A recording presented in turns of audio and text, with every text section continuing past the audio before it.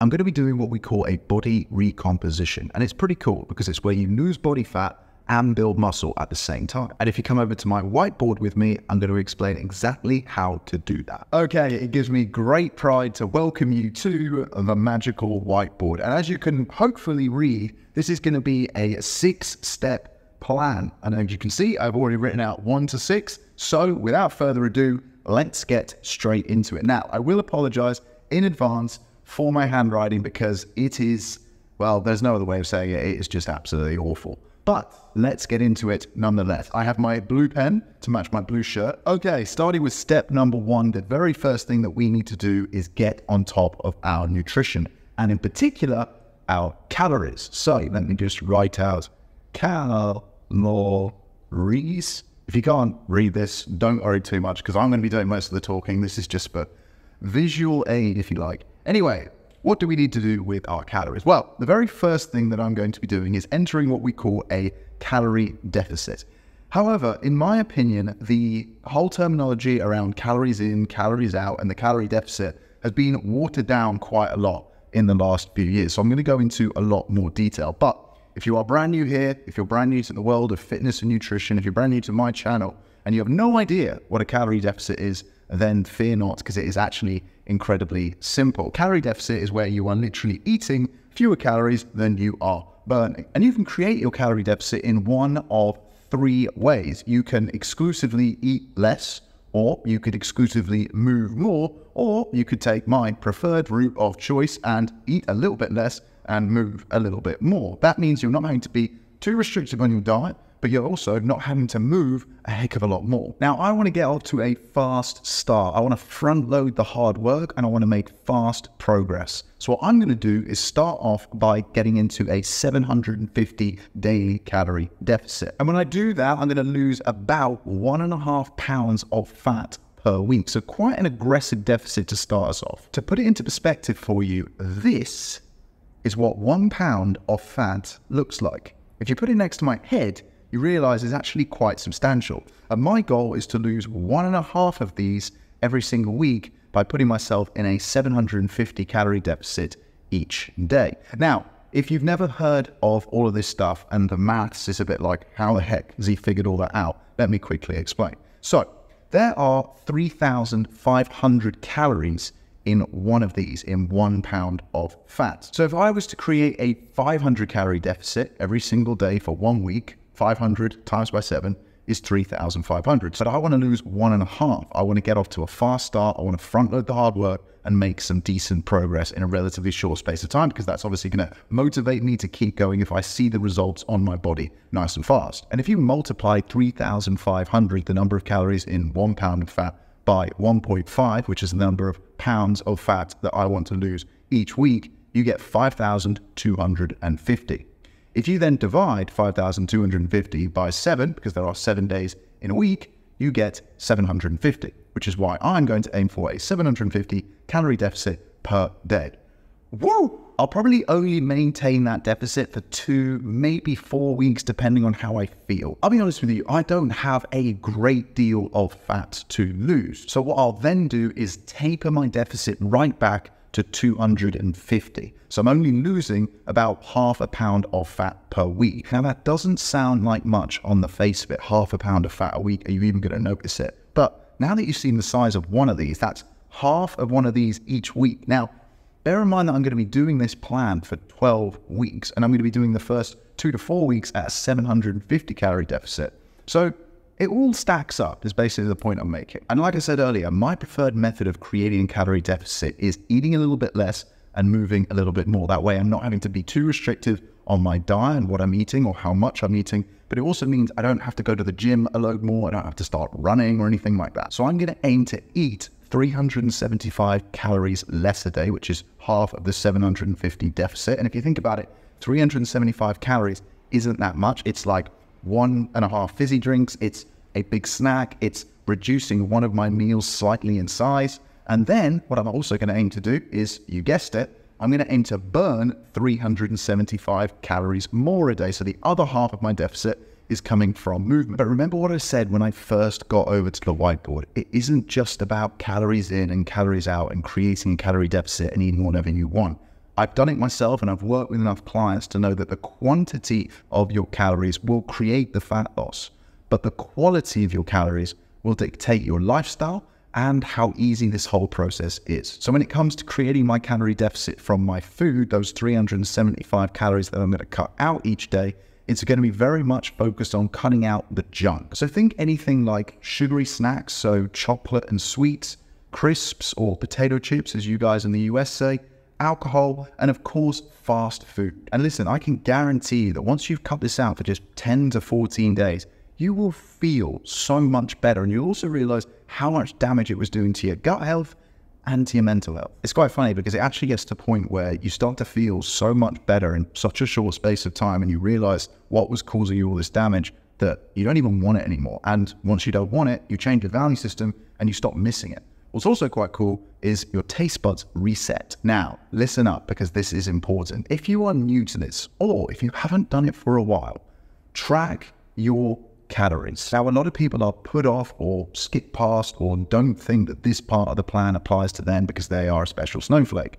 But I promise you, it is one of the most essential and important elements. First and foremost, the benefits outweigh the cons. So why wouldn't you do it? In just six weeks, you'll learn more about the food that you're eating and the nutritious value of it than you have done ever before. And I say six weeks because if you do it diligently, you only have to do it for that amount of time. After that, you will start to see food like Neo sees the Matrix. You will look at a plate and not only know the calories in it, but the macronutritional split. So as a result, you won't need to track your calories anymore. But the key word there was diligently. You can't do it for two days here and then stop doing it for three days there and then come back and do it for five days here. You need to do it diligently, seven days a week, for six weeks. That's 42 days to build a habit that's going to last a lifetime.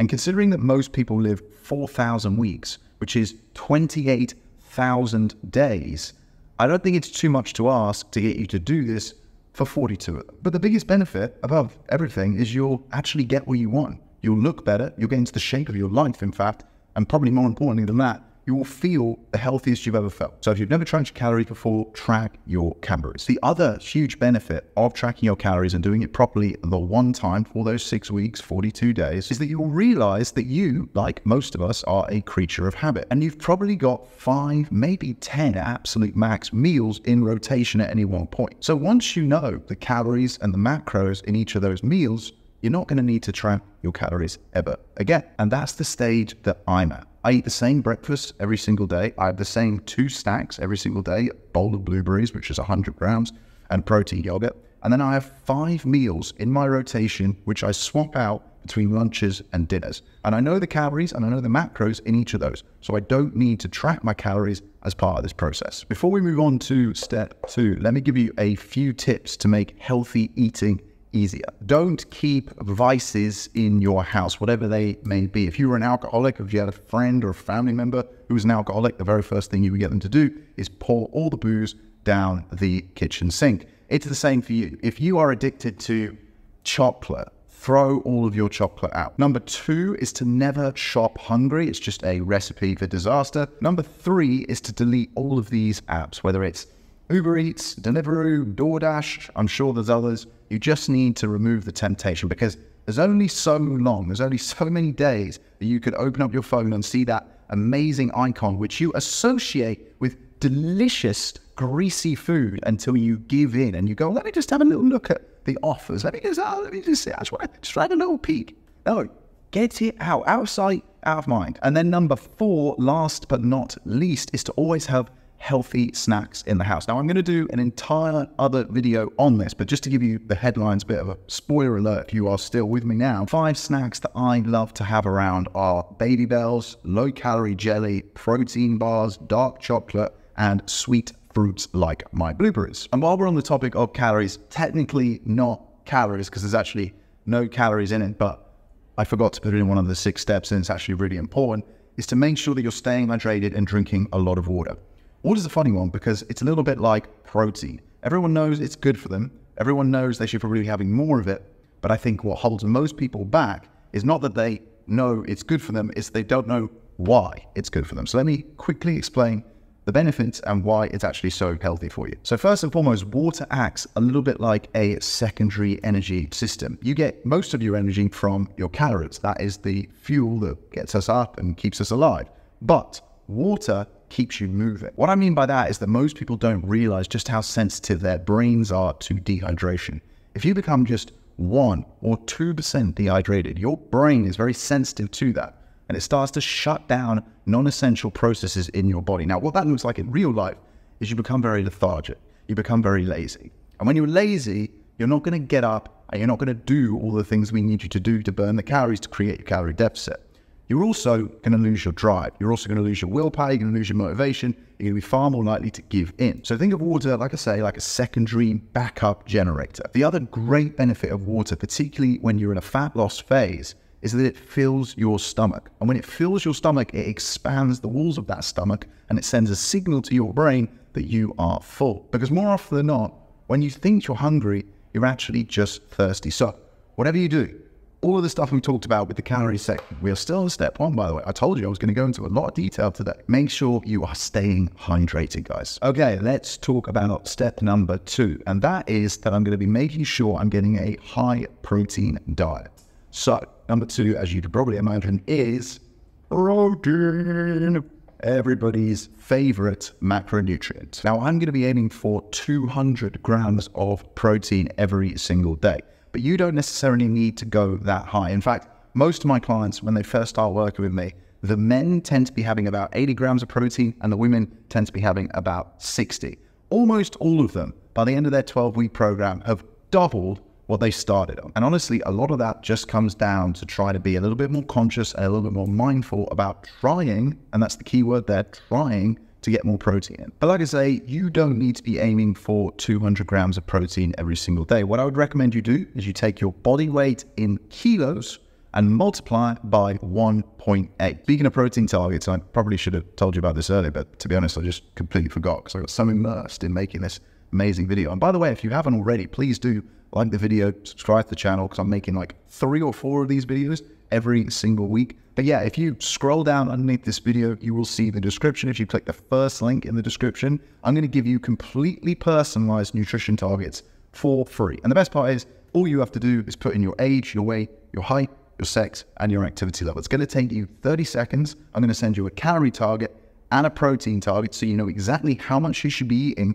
to make sure that you hit your goal so you can follow along this plan and get the results that you want. Anyway, let's carry on talking about protein. We just spoke about tips to make healthy eating easier, but to be honest, the best hack to make healthy eating easier and to hit your calorie target is to eat more protein. And that's because protein is the hardest of the three macronutrients protein, carbs, and fat for your body to break down and to digest. As a result, it sits in your stomach for longer, it fills your stomach. It does exactly what water does. It expands the walls of it, sends signals to your brain that you are full, but it also takes more energy, more calories to break down that protein. And as a result, it activates a process called thermogenesis, where you're actually burning calories just to digest your food. But as well as that, it also preserves the old lean muscle mass, which is going to be important. Because remember, we're doing a body recomposition here. So we're losing fat, but we're building the old pythons at the same time. And any ladies watching, no one protein shake is not going to turn you into Arnold Schwarzenegger. If that was the case, every single man and his dog on planet Earth would be walking around absolutely jacked. And last time I checked, they're not. But what eating more protein also does is it helps your body to prioritize body fat as an energy source. So you're actually going to break down that body fat and consume it as energy. And that's how you're going to lose the fat in the first place. And it's going to support your immune system, which is going to be very important when you're in a deficit because your body's having to work harder. Okay, that's all well and good, but you might be wondering how do I actually eat more of the stuff? How do I get more protein into my diet? So the four best sources are meat, fish, dairy, and eggs. And that is because they are complete proteins, which means they contain all nine of the essential amino acids, which are the building blocks of protein in them. And they're called essential amino acids because it's essential that you get them in your diet because your body can't naturally synthesize them. But if not those, if you don't eat any of them because you work for PETA or you're deluded enough to believe that cows are the reason the world is warming up, then supplements, specifically whey protein isolate shakes, are a great choice because they're low in calories and very high in protein. And like I said earlier, protein bars are a great healthy snack to have around. Okay, moving swiftly on to step number three, I'm going to be working out. What a shocker, hey? I specifically am going to be working out five times per week. All of my workouts are going to be 60 minutes. I'm going to be following a push, legs, pull, rest, upper, lower, rest split. So push, legs, pull, upper, lower, with rest days after the pull and after the lower. And I'm going to be keeping my workouts nice and simple, effective, but simple. So what do I mean by that? Well, I'm only going to be doing five to six exercises. I'm going to be doing more sets, which means I have less moving around the gym to do, less loading weight and unloading weight, less waiting for equipment to come available. What I'm also going to be doing is lighter weight and shorter rest periods so that I can keep the intensity up and make the entire workout more efficient. I can get in, get my work done, and get out in 60 minutes. I'm going to be focusing on compound movements. This is very important. So, compound movements are multi joint, multi muscle exercises that use the biggest muscles in your body. So, think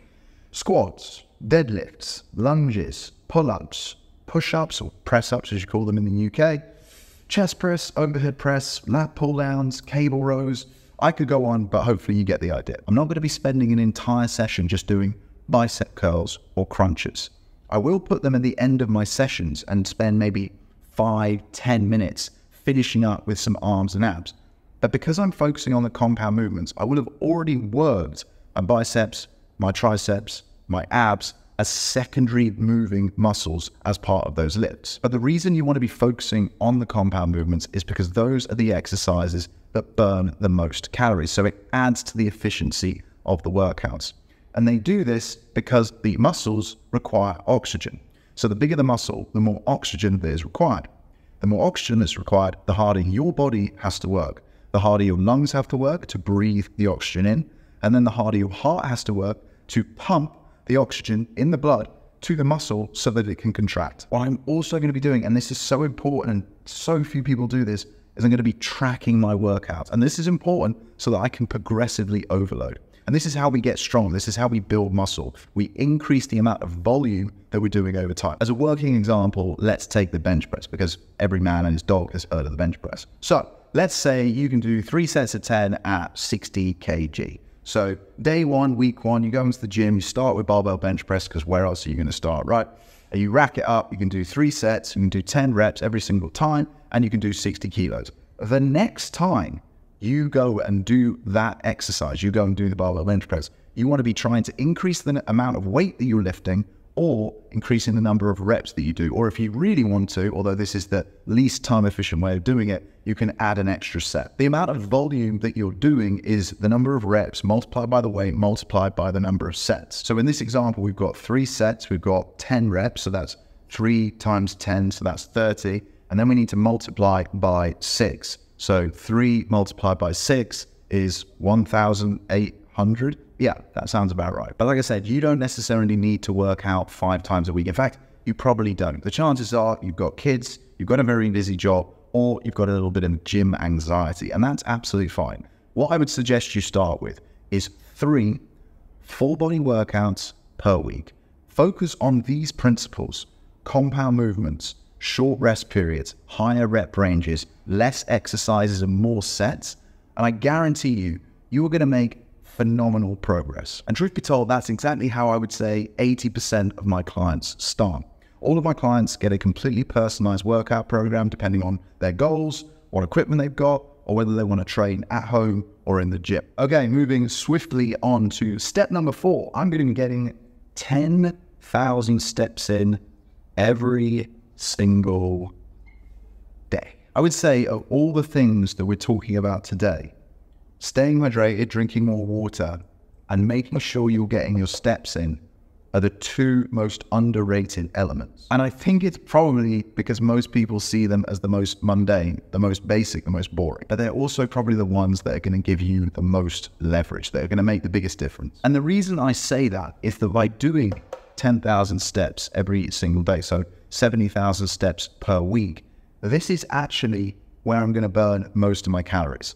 So, most people, depending on how fast they're walking and their body weight, will burn 300 to 500 calories per day by walking 10,000 steps. So, if your goal is really to get into the best shape of your life, that should be incentive enough because walking is easy. Walking gets you outside, gets you fresh air. You can do so many things whilst you're walking. You can multitask, right? So, my way of making it fun, of making it more engaging, is to listen to a podcast. Yours could be FaceTiming your mum. Yours could be listening to a playlist or catching up on work emails or even doing work calls. A lot of my clients do that. The workouts are more for your body composition, your mental health, and with cardio. But actually, now I think about it, so is your walking. Or maybe not the body composition so much, but certainly your mental health, walking is going to help with that. And obviously your cardiovascular health as well. So, I mean, I'm just giving you more incentives, more benefits here. But yeah, 10,000 steps a day is what I'm going to be aiming for. But as with everything, if you are not there already, if that seems incredibly overwhelming, do not worry. What I suggest you do is that after you've watched this video and of course liked it and subscribed to my channel, in fact, oh wait. Okay, you done it? Yeah. So after you've watched this video, I want you to go to your health app on your phone. Now, every single smartphone now has a pedometer built in. It is tracking, I mean, it's tracking a lot, but it's tracking how many steps you've done. Certainly iPhones do. I'm pretty sure Androids do as well. If for whatever reason you cannot find a pedometer, a step counter app on your phone, download one immediately, right now, well, after you've watched this video, and start tracking your steps. See what you're up to. See where you are right now. If right now you are doing, you're averaging 5,000 steps a day, all I want you to do is aim to be 20% better next week. And then the week after that, aim to be 20% better again. And eventually, within three, four, five weeks, you will regularly get to 10,000 steps per day. I can guarantee it. In fact, funny story, I'll tell you a little anecdote. I had a client who I started working with, this might have been maybe three years ago now, a lovely woman. She never got over 2,000 steps for the first two or three weeks that we were working together. But she really wanted to lose weight. And I literally sat down and said, Look, can I be really honest with you? If you really want to shift this weight, we need to find a way of upping your steps. So she thought long and hard about it and just bought a treadmill, stuck it in her house. And then every evening she went home from her work. She had a very like sedentary office based job and it was a long hours. She was important in the company. She went home and she watched her TV. She did all sorts of stuff and she walked on her treadmill. She caught up with her sons, her, her husband, all sorts. And suddenly she went from 2,000. And by the time we'd finished working together, every single day she was doing 12,000 steps. And guess what happened? Yeah, she lost a ton of weight. And last but not least, on steps, I did say 10,000 per day. But I'd actually recommend that you look at this as a weekly 70,000 target because there are going to be days, for whatever reason, it's snowing outside, you're ill, you're hungover, although you shouldn't be hungover because we're going to cut out alcohol for these 12 weeks, obviously. But let's say there is just a bad day, something happens, a meteor hits outside your house. I don't know, your car gets stolen, right? Lots of things go wrong. We are human beings and life is very unpredictable and it normally goes against us when we are trying to make progress. That just tends to be how the universe is, by the way. Anyway, so aim to have a weekly target. So if you miss your steps on a Tuesday, well, that's fine because you can make up for it on Wednesday or Thursday or Friday. Or what a lot of people do is because if they have a sedentary office job, they'll walk more purposefully at the weekend. But yeah, try and get to 7,000 steps per week. Find a way to make it something that you look forward to. For me, it's podcasts. For you, it might be something else. But this is a game changing habit. Okay, step number five. And I put this as step number five, but truth be told, I probably should have put it as step number three. And that is our sleep, guys, because sleep is so damn important. I am going to be prioritizing my sleep and making sure that I am getting at least seven hours of high quality sleep per night. Now, you might be thinking, yeah, but how are you going to do that, Doug? Because sleep is just so unpredictable. Sometimes you want to have a good night's sleep and you just can't. Well, that's exactly what I'm going to explain right now. When I first got into this game, I quite quickly discovered that there were three pillars to living a healthy life. There's your movement, so your workouts and your steps and just living an active lifestyle. There's your nutrition, so your calories, your protein, your water, your fiber, your micronutrients, etc. And then there's your sleep. And I used to think that they had equal weighting. As I have aged and my energy tank is being depleted more so and faster, I have realized that sleep over the age of 30, which I imagine most people who are watching this are, is the bedrock of health. Sleep has become, and I expect will continue to become, even more important to me. Now, you obviously know the main benefit of sleep is when our brain and our body are recovering. But most people don't realize it's also when your hormones are brought back into balance. And you have a lot of hormones. It's not just estrogen in women and testosterone in men. You have cortisol, which is your stress hormone. You have hunger hormones called leptin and ghrelin. You have thyroid. I mean, that's just a few. I think, I believe I'm right in saying if there's any endocrinologists watching this, please feel free to connect me. But I think we have over 20. I'll be honest with you, it's not my area of specialty. I don't know what all of them do. But those ones, cortisol, stress hormone, going to be pretty important. Hunger hormones, leptin and ghrelin, going to be pretty important because this is where you get your drive, your get up and go, your vim and your vigor. You know what it's like when you string together two or three really good nights sleep. You wake up and you just fly out of bed and you sail through the day.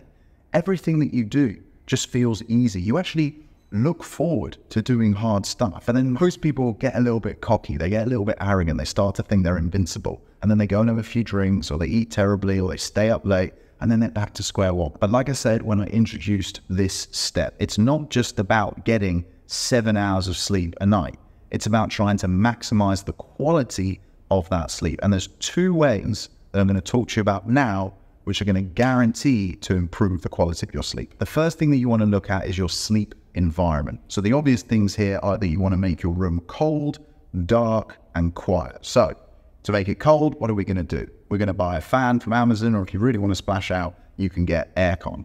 To make it dark, well, we're going to get blackout blinds, or even better, shutters. And then to make it quiet, earplugs. Trust me, absolute game changer. A lesser known hack, but one that will make so much sense once I've explained it to you, is to sleep with your bedroom door open. I mean, obviously, make sure you're safe, but sleep with your bedroom door open. The reason being is that if you think about it, if you're lying in a relatively small bedroom, unless you're an absolute baller, for eight hours a night, breathing in, breathing out, I did that wrong way around, but you get my point. You are essentially starting to build up carbon dioxide in the room. You start to build up poor quality oxygen. So what you want to do is have your bedroom door open to the rest of your house so there is more fresh oxygen available. But I'd also encourage you to invest in your sleep environment, and this is what I'm going to be doing. I dread to look at their website, and I am certainly not sponsored by them, although if they see this video and they want to send me one, I would obviously be very grateful. But I want to get an Eight Sleep mattress. Like I say, I haven't even looked at their website, so I do not know how expensive they are, but judging by what they can do, I would expect that they're not cheap. These mattresses can wall it up, they can cool it down, they can even raise the top of the mattress where your pillow is if it detects, that's right, detects that you are snoring. Now, I'm a pretty good sleeper, but my mattress isn't the best. And if I'm going to get in the best shape of my life in the next 12 weeks, in the next 90 days, then we need to optimize for everything. What I'd also recommend you do, if you haven't already, is invest in a great pillow. You're going to spend more time with your pillow than anyone else on this planet. You've got a more intimate relationship with a pillow than you do with your parents. So invest in a good one. What I would also suggest you do is make sure you've got comfortable and breathable bedding. And you might be listening to me and thinking, hold on a minute. Blackout blinds, a fan, earplugs, a mattress, a pillow, bedding, and I go on and on and on. You might be thinking, I'm not made of money, mate. Well, listen, let's say, for example, all of this was to cost $1,000 or 1,000 pounds or 1,000 rupees or wherever you are in the world, but 1,000 rupees is not a lot of money. That would be an absolute bargain. But let's just say it's a thousand for for argument's sake. How long is all of this stuff going to last you? It's probably going to last you five years. How many days are in five years? Let me just check there are 1,825 days, or in this case, nights in five years. So if all of this stuff is going to last five years, then you're making an investment that really the cost is spread over that time. If the cost is spread over that time and it costs you 1,000, but it's going to last you 1,825, then that means all of this is costing you less than a pound, less than a dollar, less than a rupee per day. Now, when you frame it that way, that's a pretty good investment. This could cost $2,000, pounds, rupees, yen, whatever it might be. And it would still be a good investment. And the reason it's such a good investment is because of how important sleep is. It's because of the return on investment that you're going to get from it. This is going to 10x your life, whether it's your relationships, your health, or even your finances. You are going to literally make 10 times the amount that you invest on this. This is a worthwhile investment. And I promise you, I do not work for a mattress company. I'm not affiliated. There's no links. I don't have anything. Okay, the second thing that you're going to want to do to improve the quality of your sleep, and you'll be very pleased to hear that this is not going to cost you a penny, is do the three, two, one rule. So this three, two, one rule is very straightforward. It basically means that you are going to stop eating three hours before you go to bed. You're going to stop drinking anything, water, coffee, alcohol, juice, anything, two hours before you go to bed and you are going to try and come off your screens, whether it's your laptops, your TVs, your phones, one hour before bed. The reason you want to stop eating three hours before bed is because it's a metabolic process. And metabolic processes raise your heart rate. They raise your heart rate because they require you to burn calories to do so. And if you think about it, when you're asleep and when you're trying to go to sleep, you want your heart rate coming down to a resting level. But if you're trying to digest food, it's fighting against that. You want to stop drinking two hours before bed because if you're anything like me and you're past the age of 35, you'll appreciate that if you don't, you will wake up at least once, if not twice, maybe even three times in the night to go to the bathroom. Now, if you wake up in the night, this is obviously going to disrupt your sleep. If you disrupt your sleep, it's going to minimize the quality of your sleep, not maximize it like we want to. And you want to try and emphasize the word try because I appreciate this is the hardest one to come off your screens one hour before bed because of the blue light that these guys emit, which stops the production of your sleep hormone called melatonin. Okay, we're coming to a close, but before I go, let me talk you through step six. Last and least, and I said that very purposefully, supplements. Let's give it up on writing now, but that says supplements. So I'm going to be taking a very simple supplement stack that I recommend to every single one of my clients, whether they are male or female, whether they are 18 years old or 80 years old. And that is creatine, vitamin D, omega 3s, a multivitamin, and electrolytes. Let me explain each of those in a little bit of detail and give you dosages so you can do the same if you want to. I should say right now, once again, I am not affiliated to any supplement companies, but if they want to, you know, throw me some money, throw me a discount code, whatever, then obviously, I'll, you know, I'm not going to say no, am I? But I buy all of my supplements from a UK based company called Bulk. And I love these guys because they are transparent, they use high quality ingredients, and they're British. And even though I don't live in Britain anymore, I still like to support British businesses where I can. So, first and foremost, creatine. You want to be taking 10 grams, 10 grams. I used to recommend 5 grams. Now I recommend 10 grams of creatine monohydrate every single day first thing in the morning. This is going to increase your strength and your power during your training by giving more energy because there is more water in the muscles. And, and this is the reason that I now recommend 10 grams and not five, it's been shown to come with enhanced cognitive benefits. In other words, it's going to make you more focused. It's just going to make you smarter, which is amazing. Next up, omega 3s. You want to find one that is high in two ingredients. There's two acids actually called EPA and DHA. Now, the ones I take have about 3,000 milligrams of EPA and 1,800 milligrams of DHA. So that's per day. And ideally, you want to spread the dosage throughout the day. So mine comes three cap- capsules. So I have one in the morning with lunch, sorry, with breakfast. I have one at lunch with lunch, and I have one at dinner with dinner. Okay, yeah, you know, what You get my point. There's two big benefits that come with omega 3s that are particularly pertinent to what we are trying to achieve with the six step plan. Number one is that it reduces inflammation. So it reduces swelling inside your body. That means you're going to recover faster from your workouts. It's going to keep you healthy, it's going to keep you fitter, and it means you can go back into the gym faster. Benefit number two is that as long as you're doing all of this other stuff, it's going to boost the effect of improving your cholesterol profile. Number three is a multivitamin. Being honest, this is like the least important of the five that I mentioned earlier.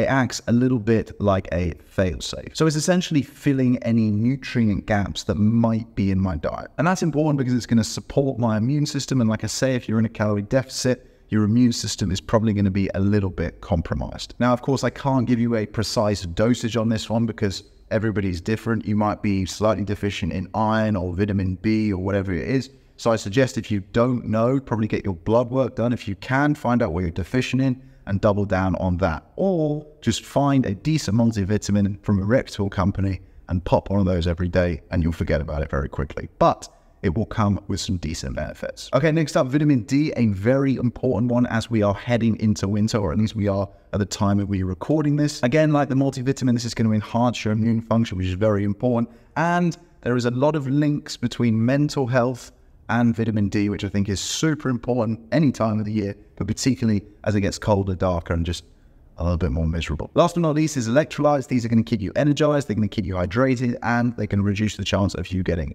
muscular cramps, which is very important because it means you can recover faster and you can stay on track with your gym workouts.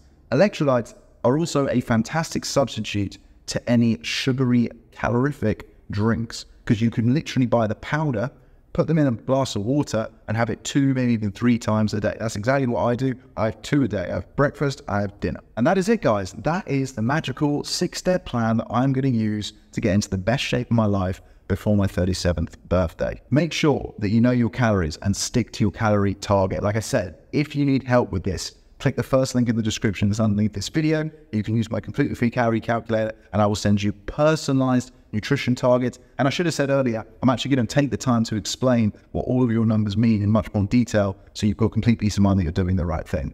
Track your calories. Make sure you're tracking your calories. Protein. Try and get 1.8 times your body weight in kilos of protein every day. It's going to fill you up. It's going to help you to build a lean muscle. It's going to keep you healthy. Workouts. Aim for at least three full body workouts each week with short rest periods, focusing on compound movements. 10,000 steps a day game changer, guys. Step number five sleep. Seven hours of high quality sleep a night. And last and least, get those supplements in. And I promise you, if you follow this six step plan, you are going to get in the best shape of your life. In 12 weeks' time, you will look back having watched this video and go, damn, I am so glad I watched that video, listened, implemented. And that's the most important part implemented all of this advice. Keep it simple the simpler it is. This might feel a little bit overwhelming. If this is all new to you, you might be watching this. I'm impressed if you are still watching it. You might be thinking, I, I honestly don't even know where to start with this. Well, that's what I do. That is exactly why I am here. So if you click the second link in the description of this video, you can apply for my online coaching program and we will do this together. You're going to get a completely personalized workout program and nutrition plan. You're going to get loads of support. You're going to get loads of accountability with weekly check ins, monthly calls, and, and you're going to access to my community. That's amazing as well. That's added support, that's added motivation, added accountability. And probably best of all, you're going to get all the knowledge that I've accrued over 15 years of training and five years of coaching over 100 people, men and women, young and old, all around the world. Anyway, guys, I will leave this video here. I really hope you've enjoyed it. But more importantly, I hope you found this useful. I love making these videos. I'm very passionate about this. Hopefully, you can tell that. But I want you to promise me that you're going to try and implement all of this stuff. Because without the implementation, if you just have the information, if you know it all, but don't do anything with it, you're not going to get anywhere and no one's going to care. Anyone, I'm going to leave the video here. Thank you so much for watching. If you haven't already liked, subscribed, we can't be friends. I'm so sorry, but I love you all the same. I'm only joking. And I'll see you in the next one.